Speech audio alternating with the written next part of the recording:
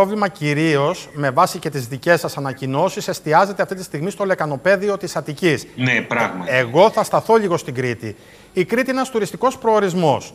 Σχεδόν το 50% των λίγων τουριστών που ήρθαν φέτος στην Ελλάδα πέρασαν την Κρήτη. Με βάση Ναι. τα, επι... τα αριθμητικά δεδομένα των αεροδρομίων, ίσως να ξεπεράσει και το 1 εκατομμύριο. Αυτός είναι ένας πολύ σημαντικός αριθμός. Αυτή τη στιγμή, όταν κλείσει η τουριστική σεζόν, μπορούμε να πούμε ότι η Κρήτη θα είναι περισσότερο θωρακισμένη, καθώς τώρα κάνει ένα πολύ δυνατό crash test, δοκιμάζεται και από, την, ε, από τις αφήξεις των τουριστών.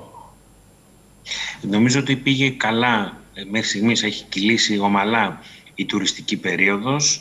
Ε, το σχέδιο το οποίο υλοποιήσαμε, που κυρίως αφορούσε τους ε, δειγματολου- δειγματοληπτικούς ελέγχους στις πύλες εισόδου της χώρας και ειδικότερα στην Κρήτη στα αεροδρόμια, απέδωσε. Ε, είχαμε λίγα κρούσματα σε ό,τι αφορά τα εισερχόμενα κρούσματα από τον, κονο- τον κονο- κο- κορονοϊό. Τα έχουμε διαχειριστεί ε, με τον καλύτερο τρόπο και μ, όλα έχουν κυλήσει ε, κατευχήν ε, μέχρι στιγμής.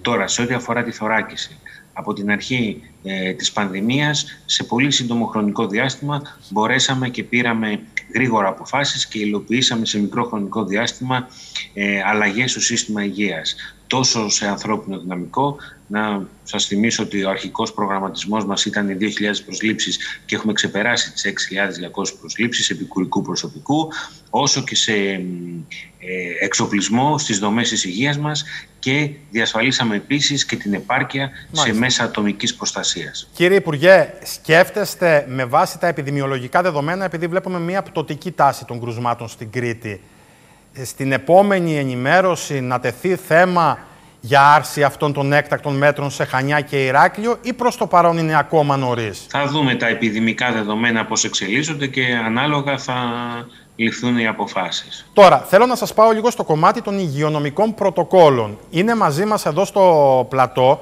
ο πρόεδρος της ΕΛΜΕ Ηρακλείου, ο κύριος Ριγάκης, και ο πρόεδρος των δασκάλων και νηπιαγωγών, ο κύριος Μακράκης, όπως και ρετός πις Πεκρίτης, ο κύριος Λαμπρογιαννάκης.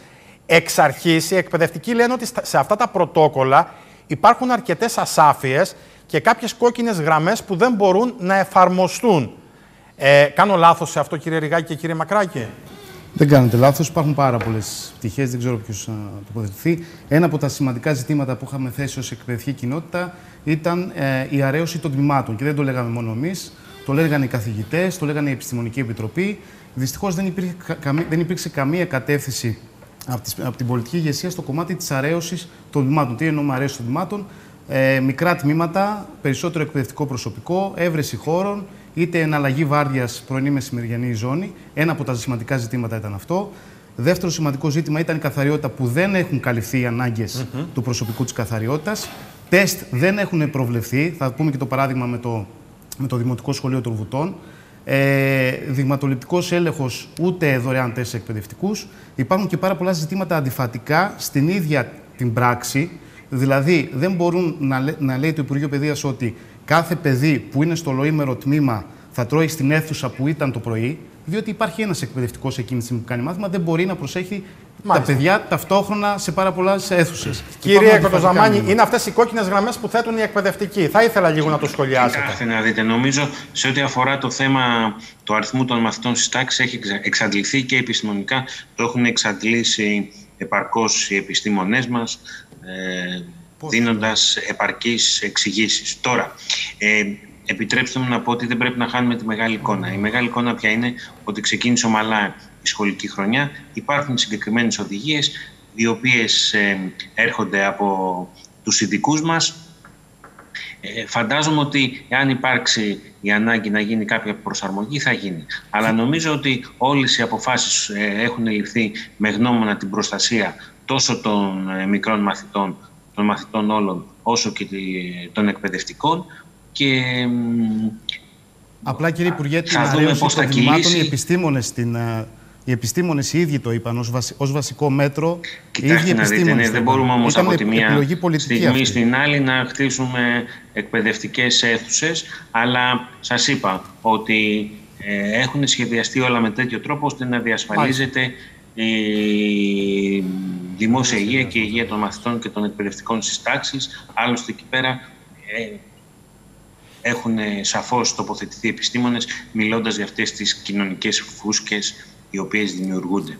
Κύριε Υπουργέ, σήμερα στην Κρήτη τελούν υποκατάληψη 80 γυμνάσια και λύκεια και στις τέσσερις περιφερειακές ενότητες.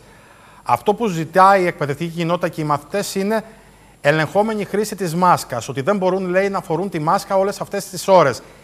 Και εγώ οφείλω να μεταφέρω αυτό το ερώτημα των μαθητών. Σκέφτεται η Επιτροπή Εμπειρογνωμών, θα το θέσω αυτό και στον κύριο Γκίκα που είναι εδώ, που συμμετέχει σε αυτή την Επιτροπή των Εμπειρογνωμόνων, να επανεξετάσει το θέμα της χρήσης της μάσκας στα σχολικά συγκροτήματα. Κοιτάξτε να δείτε, τώρα η Επιτροπή των Εμπειρογνωμόνων αποτελείται από επιστήμονες που έχουν, ε, λαμβάνουν υπόψη τους όλα τα επιστημονικά δεδομένα. Δεν νομίζω ότι θέλει κανείς να ταλαιπωρεί τόσο τους εκπαιδευτικούς όσο και τους μαθητές. Όλα γίνονται για την προστασία της δημόσιας υγείας, προβλέπονται πότε πρέπει να φοριέται η μάσκα, πότε δεν πρέπει